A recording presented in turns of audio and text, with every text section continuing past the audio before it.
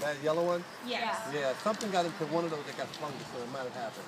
But you guys did great. Thank I needed that daylight. Great, great, great, great, Now great, what? great. Now I'm gonna get these hand tools because the truck's not gonna come in time.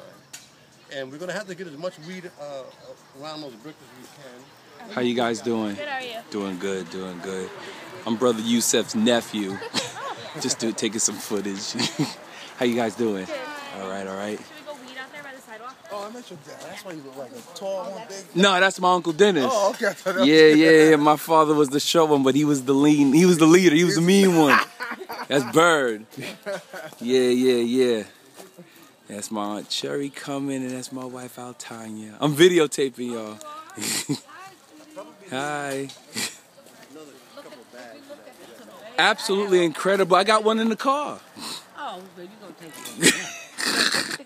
Look cabbage coming up. Mm-hmm. Oh my goodness. And I'm here with my aunt Cherry and my wife. Yes. Oh my goodness. They were on this morning. They were on there this morning. And look at this. Oh, come over here. Look We're gonna follow Auntie this time. Look at this beautiful cabbage growing right here. Mm-hmm. This I just can't wait to eat it. and over here, She's the friendly tour guide. look at our tomatoes. Yeah, we got them. Huge. Oh, you're doing a video. Delicious Mm-hmm. tomatoes. This is awesome.